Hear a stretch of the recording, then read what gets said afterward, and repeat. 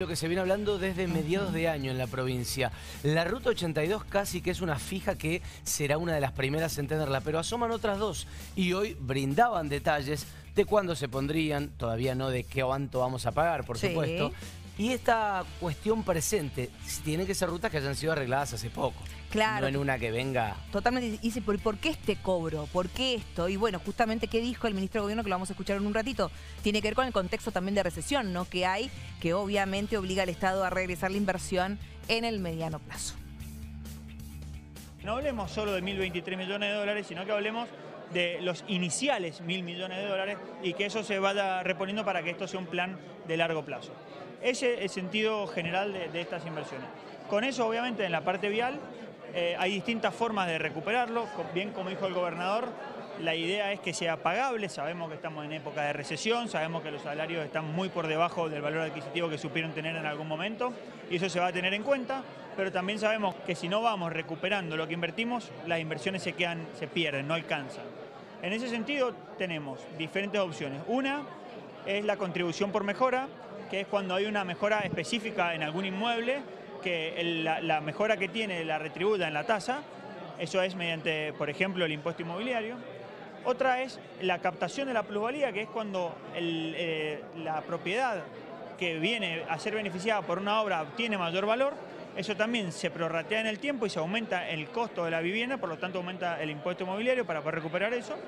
Y hay otra que es el peaje, que como dijo el gobernador, en los momentos que corren, ningún, ni- ninguna obra, ninguna ruta se puede repagar con el uso por peaje, porque el peaje tiene que tener un valor razonable para que se pueda pagar.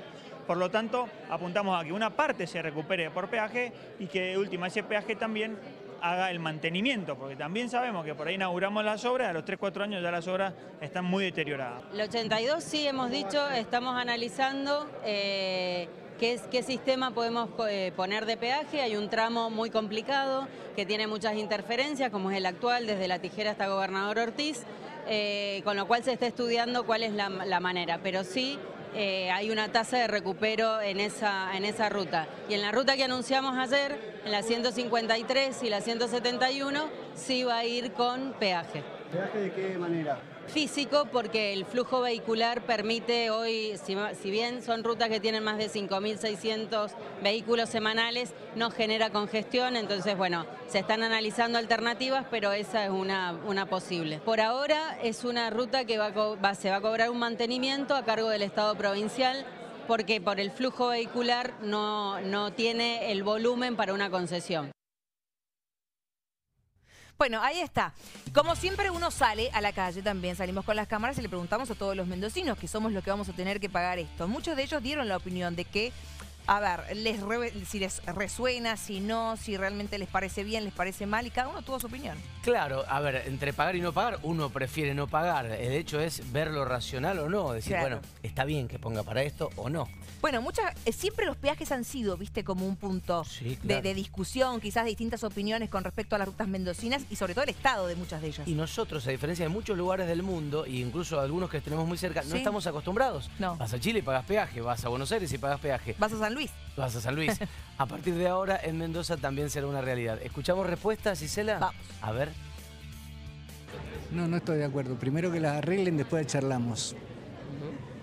¿Qué- ¿Cuál es- sería la solución entonces para financiar y demás? Y que el Estado se haga cargo de la obra pública de arreglarlas. Que consiga financiamiento internacional o de algún otro lado. Si se cumple estaría bueno. ¿Y ese, ese dinero volvería al, al- al gobierno? o- Claro. Está bueno, sí. ¿Estás de acuerdo? Estoy de acuerdo, sí. No estoy de acuerdo, estoy de acuerdo que arreglen las rutas, todo, pero no estoy de acuerdo con que se cobre peaje sobre algo estatal o algo del Estado.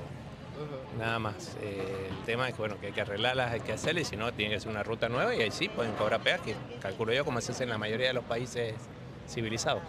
No, no estoy de acuerdo para nada. Aparte las rutas, todo un desastre, no hacen mantenimiento, nada. Entonces no estoy de acuerdo. Nosotros eh, circulamos por varias y hay algunas que está bien porque hacen mantenimiento, ves que se preocupan, pero en otras cobran peaje y no hacen nada. Si realmente se usa para invertir y para mejorar lo que es la calidad del viaje para todos, eh, me parece estoy de acuerdo. Si se invierte en eso, realmente. Sí, mientras se use por un bien para arreglar las rutas, teniendo en cuenta que están todas destruidas. Eh, la verdad que sí, que me parece que, que deberían hacerlo.